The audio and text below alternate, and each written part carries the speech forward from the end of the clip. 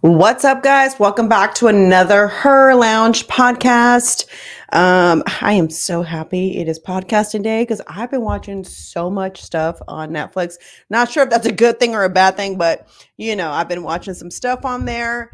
Um, before I get started, guys, just a friendly reminder as you guys know, we are still having our 50% off sale on Herr apparel. So go on there, get some shopping done, guys. I'm going to start going live and showing you guys how to piece some of these summer things, even in the fall, because they can be versatile. I promise y'all.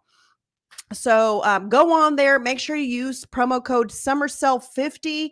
Um, so just so you know, there's a lot of new stuff coming. So you'll see a lot of the um, coming soon stuff already posted. So make sure you check that out. And not to mention, uh, there's the stuff that's under the summer sale is the only stuff on sale because there are some new bags on there that are new. So I don't want anybody to get confused thinking that that's part of the summer sale. But go on there, get you some merch, um, get ahead of it. You know, do we really have a, a fall here? That's the hard part about it. But I've got a bunch of stuff that's coming in that's perfect for Houston weather. So thank you guys um, for your support. I will be announcing a bunch of pop ups that I will be doing. And um, again, herrappareltx.com. So go on there and get you some merch. All right, guys, enough with the promotion stuff. So um, you guys know I always like to start with the positive quote. So here we go. Um, mindset. The driving force in the quest for success and achievement, a mindset that combines discipline, strength, confidence, and ambition, is a powerful mindset. This can achieve anything it sets its sights on. A powerful mind can achieve anything. If you're wondering why that quote, so I actually watched the George Foreman documentary, y'all, and I had never seen his, I mean, I know of him, and I obviously I know that he's a boxer, and I know that he's got the the the you know George Foreman grills, which I had.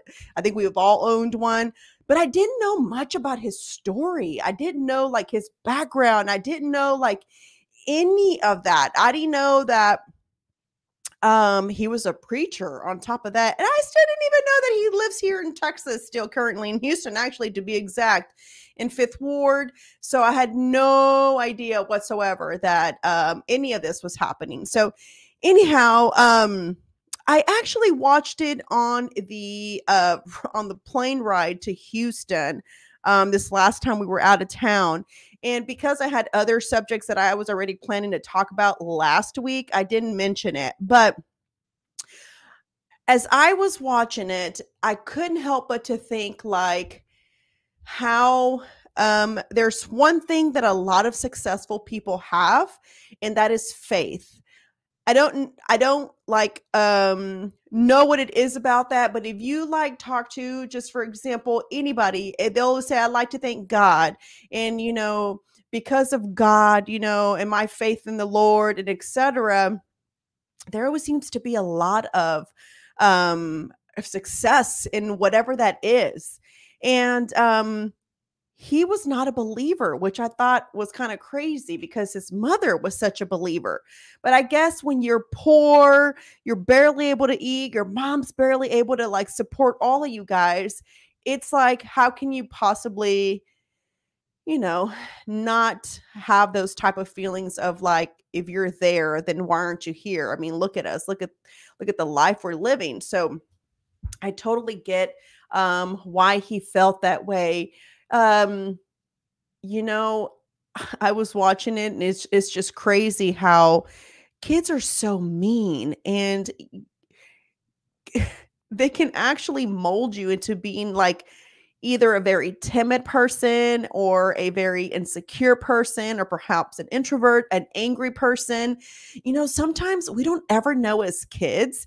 If you go back and think about like people that you interacted with that you thought like man why do they act like that?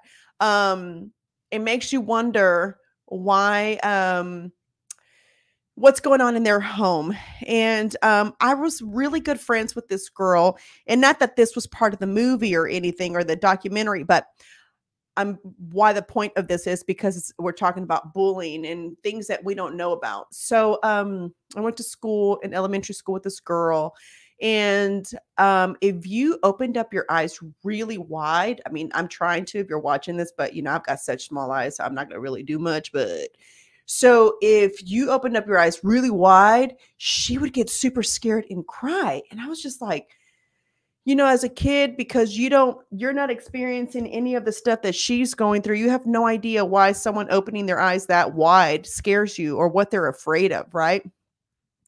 Years later, I'm talking about years later, it was a coincidence that she and another friend of mine happened to like meet at work.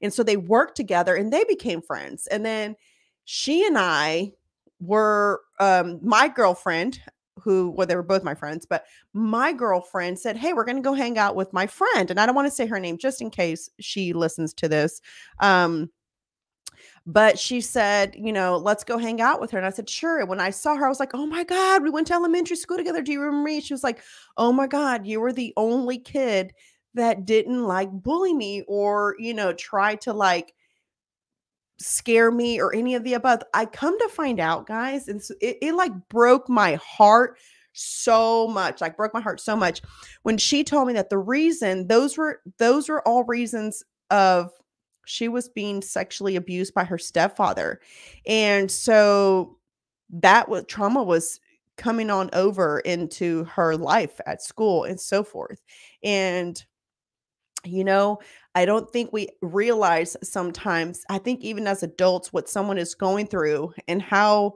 our actions or our words can really hurt someone. So I was like, oh my God, I never knew that. You know what I'm saying? And I mean, we played together. We, she, I never went to her house, but she would come over mine. Um, but it was kind of crazy to hear that as an adult, um, and her being an adult and I really don't even know how the subject came up and why we talked about that. And I just said, she actually, that's how it's because she said I was the only person that didn't bully her. And I don't really know. I've just never, I'm not a bully. That's not my personality. So I guess that's the reason why. But, um, and obviously she was my friend as well. So why would I do that to her? But anyhow, um, I say that because in this movie, because George Foreman was so poor, the kids would make fun of him. And because, you know, he was so hungry, sometimes he wouldn't be able to eat at school. I mean, it was just awful, awful, awful, awful.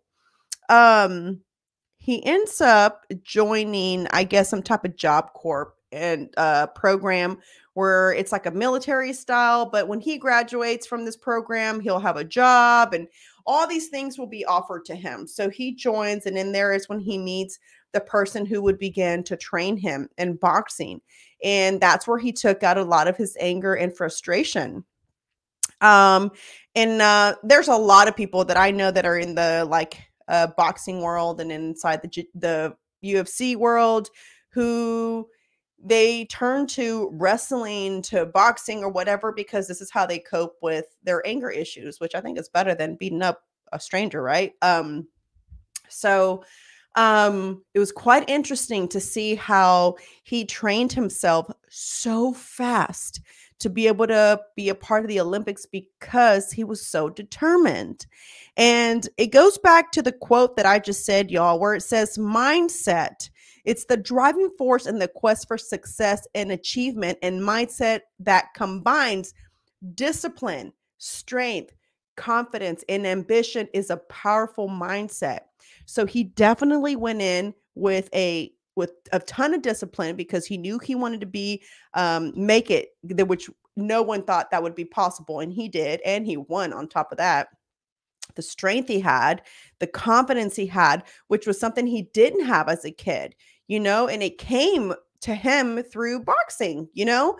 Um and having a powerful a powerful mindset you know to like really be focused and want this and you know really want to prove that he could handle this and he did and he achieved it. As it says here what mindset means is this can achieve anything it sets its sights on. So having confidence having strength having discipline having ambition all will get you to that goal, right? Because it, everything in life is about a mindset, right? It's like either you're going to go through it and you're going to actually accomplish it or you're not going to accomplish it because, you know, you just have you don't have the confidence you don't have the discipline you don't have the strength and you know you definitely probably maybe don't have the circle of friends or the or this family support to do this which makes it hard um but in it all i really loved the story of how somebody you know um just did the impossible went from looking like he was not going to go down the right path to you know actually um, joining the Job Corps, actually training to be a boxer, did amazing. And then he loses a, a, a match and he's in the back and has like a almost like a, a, a, a almost death experience. And in there, he, I guess, um, not I guess, but he has an you know out of body experience where he's like asking god please don't take me you know and he doesn't and he comes back and he decides he no longer wants to be a boxer but he's going to be a preacher and so he starts preaching, which I also didn't know this part about him. I had no clue whatsoever. I thought this guy just boxed. I thought this guy just got some kind of um, you know, uh collaboration with the grill with the Foreman grills to where he was selling that after his retirement. I had no idea about none of this. Um and it was really quite interesting to see um, his story in regards to like how he devoted his life to god and to preaching. And you know he asked for forgiveness from you know his ex-wife who he cheated on and you know did stuff you know that probably whatever they didn't go too in depth with it. But you know when you're cheating on someone obviously it's caused a lot of emotional roller coasters for that person. And so when he accepts the Lord, he goes back and he he you know apologizes to her and it's just like he's apologizing to all the people. He even apologized to muhammad ali when he fought him and he thought that was funny and he was like wait what? What do you what's going on here? And so he just like did not want to fight anymore and um you know he goes through this little situation where he trusts someone um and with their all his money and then of course you know it never fails that sometimes some the person you trust the most is the person that dicks you over you know and screws you over so bad it's like you're left with nothing. And so you know this recreational center that he had created in his community was now being shut down because there was no money to keep the lights on and he had no clue. And that's how his fight um his return from retirement uh, came back, and um, and uh, his wife had a vision um, that he was going to win, and you know he she was like you know i don't i don't know i just see you winning and you know this whole thing and i know for those who are non-believers are like okay where are you going with this? Well for one i hope that if you're a non-believer i hope that you know you find some some some sort of belief out there because i hope you don't think that this world is just functioning with just cuz you know? Um but i do want to say that it was amazing to see that this man took what regardless of him you know um going through all these trials and tribulations and you know everything that you can possibly think could go wrong he experienced it and you know he found another wife he did remarry she was great um she was also a christian woman who he met in the church.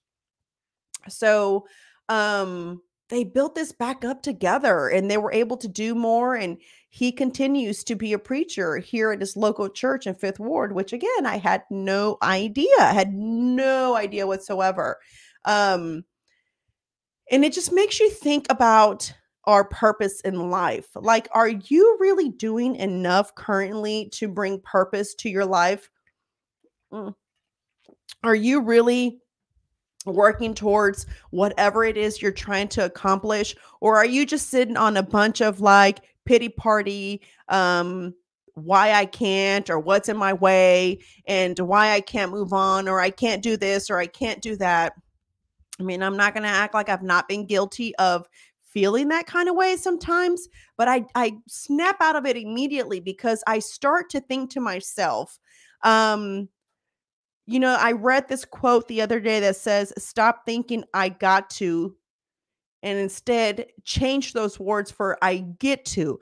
I get to wake up in the morning, you know, I get to have a job, I get to be able to have my home, you know, and as much as we don't like want to think about paying, paying bills, but getting to pay your bills on time is a luxury because that means work is good for you. That means your job is providing you know a, a, a, something for you to be able to sustain your life for you to have whatever it is that you have uh, for you to provide for your kids if your kids are in private school if your kids are in activities all those things cost money none of that is cheap so you know there's a purpose for everybody in life and sometimes i feel like we don't um fully uh i guess attack it to the best of like our potential of what we can do or what or what's out there for us and we're just kind of sitting hoping that one way or the other it'll happen instead of having the discipline to actually do it instead of having you know the um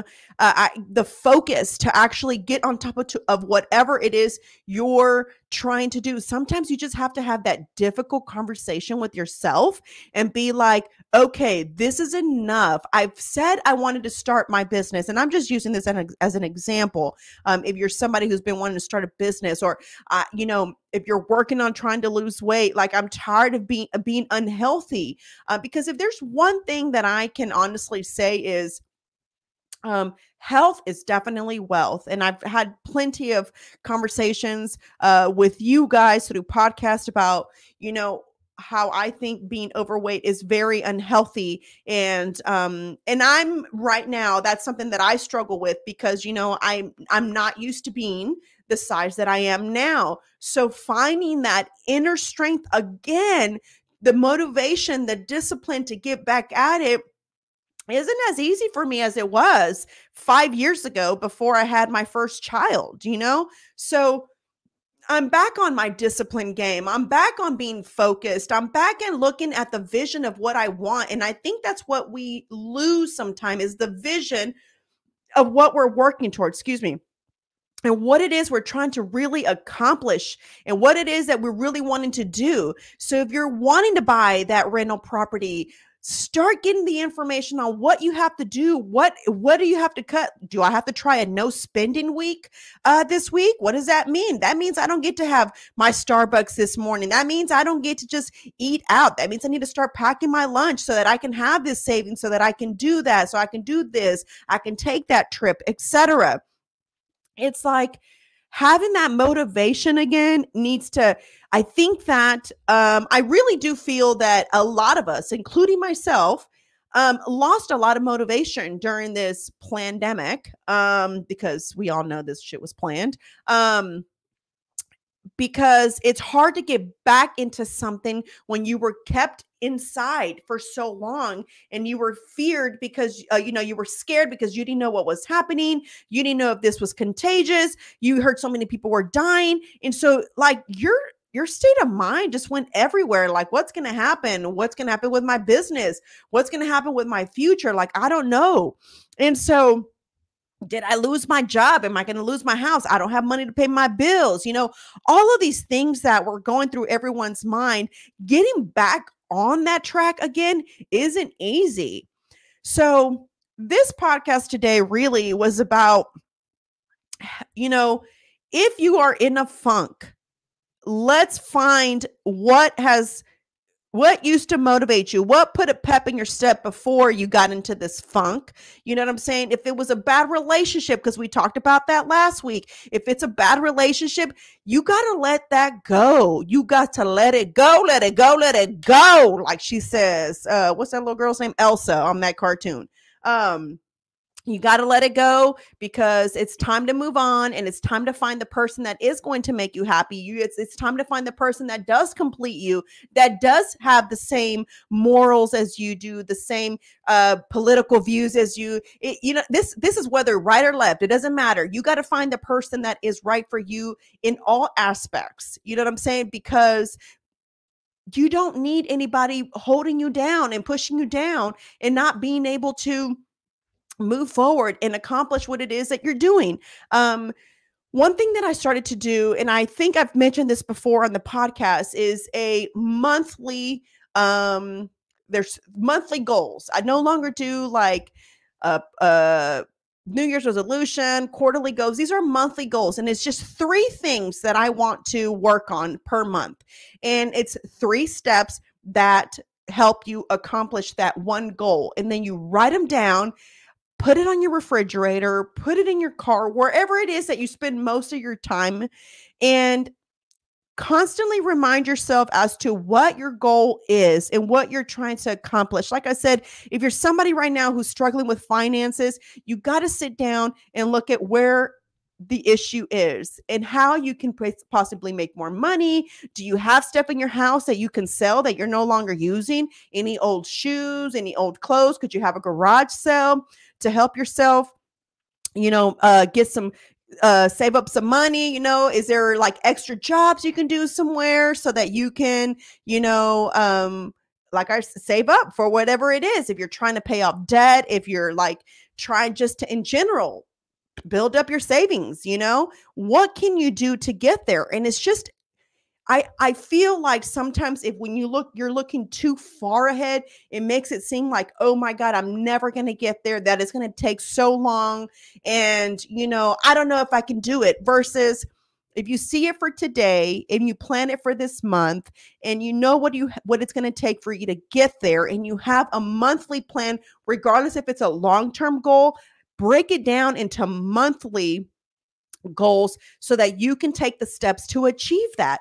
If you're trying to invest, you know, what do you have to do? What is your credit? You know what I'm saying? Do you need to get your credit right again? You know what I'm saying? Do you need to like uh do you want to buy home you know owner to owner do you want to like you know find the right realtor that can help you out that's got the right information for you like what is it that you want to do and actually sit there and get your mindset right because guys, literally, this is the last quarter of the year. This is it. We're like almost done with 2023. And if you sit there and think about, like, damn, did I accomplish everything that I wanted to do for this year? And if your answer is probably like, not really, then take these last couple of months to actually get your mindset right. You know, start thinking about how you can have a, a successful end of the year so that next year you're working towards continuing what you started in 2023 so that it could be a more successful 2024 if that makes sense. Um a powerful mind can achieve anything. So if you're right up here then you have the ability to make it happen. If you're not right up here and you're struggling with mental health, then we got to get you that mental health. Like mental you got to get you that mental health. You got to get that help to work on your mental health, guys. What is it going to take? Is it going to see a therapist? Is it going to work out? Whatever it is that helps you deal with your mental health, do that. Talk to your pastor, talk to a friend. Um if it's childhood trauma, like maybe it's time for you to go talk to somebody. I don't know. Whatever it is that's going to help you clear that mental health, you know, you got to get on it so that you can move past that and you can achieve whatever it is that you've been trying to work towards instead of just kind of staying in this like run and just not getting nowhere and just keep saying the words, I wish or man, if only, you know, all these words that you put out and that come out of your mouth it's either going to be for the good or the bad. And if you keep spitting out negativity out of your mouth, then you're mm. probably, probably always going to have a negative mindset and you're probably not ever going to be able to achieve anything that you wanted to achieve because you have just pretty much put into the universe that you can't because XYZ. But if you have the mentality of, I can, I'm going to do it. I'm going to plan it. I'm going to take the steps that it, it need, I need to take so that I can make this happen.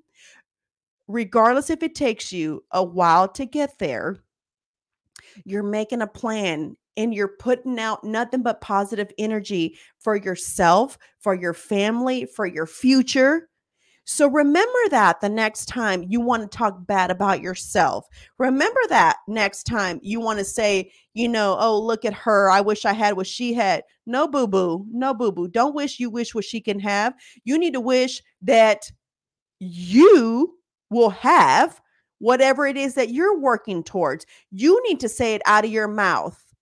Oh, that's cool that she has that. Yes um me and you need to talk like i need to pick your brain like i'm trying to work towards that too how can you help me? Like i would love to talk to you in regards i'm trying to i don't even know i'm just going to use buy a new car like did you buy it cash? You know how many miles? Do you suggest this? So you suggest that. You know always surround yourself people that are doing better than you because then those are the people that can feed you you know what they already went through and then when you try to take, you know, charge in in what you're trying to accomplish, well, you'll remember that person what they said in regards to, I don't know, like don't invest your money in that because you know that's really hard and you'll you'll never see it grow, and so it'll stay there for a while. Blah blah blah blah blah. I'm just giving everyone examples of the of, of things that people, you know, are trying to work towards, and at least like things that I know that we've tried to work towards. Um, I was in a like a little in a pretty I, don't want to say the word negative because like I said, I don't really like to speak anything that I don't want to happen. But when I derailed, because it really did throw me off during this whole pandemic, um, there was a lot of bad speaking bad. For example, I didn't want to do my social media because I didn't feel good about myself. I didn't like the way I looked. And then it takes sometimes someone else to make a comment or mention something.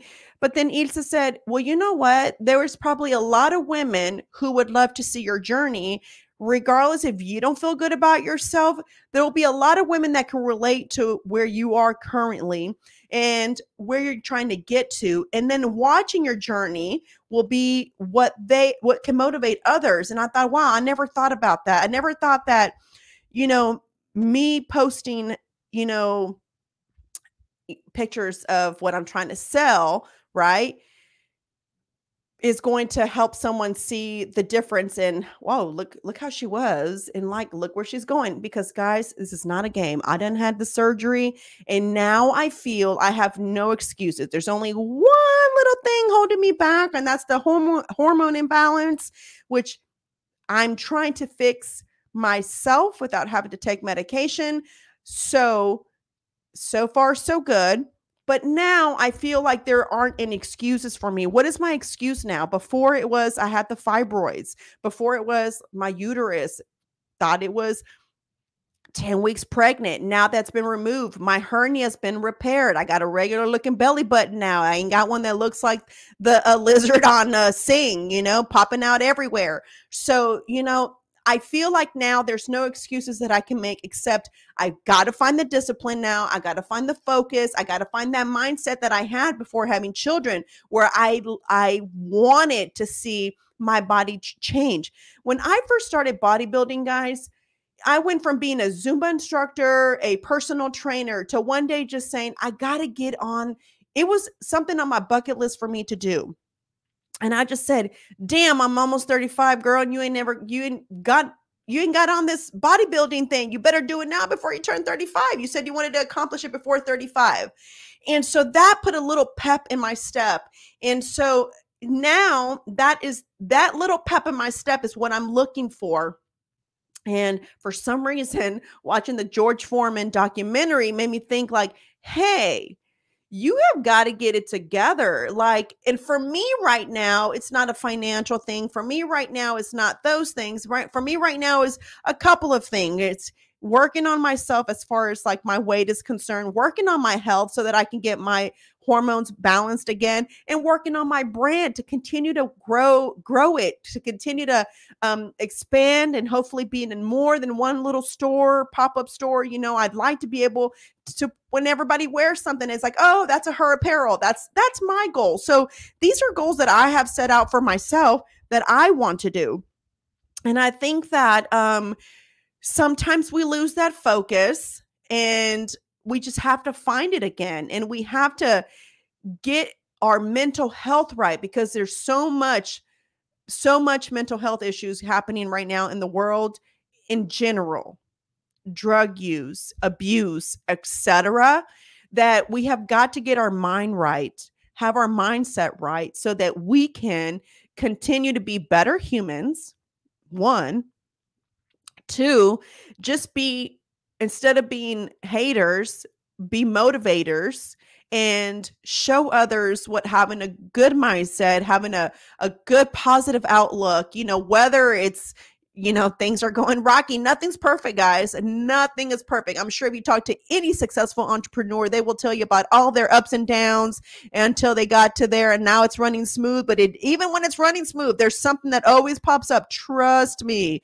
So, you know, um, I just wanted today's podcast to be about you guys finding that motivation, um, finding that mindset because it is the last um, quarter of the year and it's time to like just finish strong. Finish strong in 2023 so that you continue to continue to work on whatever it is that you set your mind to in 2024 and then it's like i'd love for you guys to send me messages and emails about what you set your mind to in 2023 and how it's going in 2024 because I think we could all use a little bit of push here and there. So, with that being said, guys, thank you so much for listening. If you haven't joined us on over on the Patreon for our bonus episodes, come on over, guys. Come be a part of her world.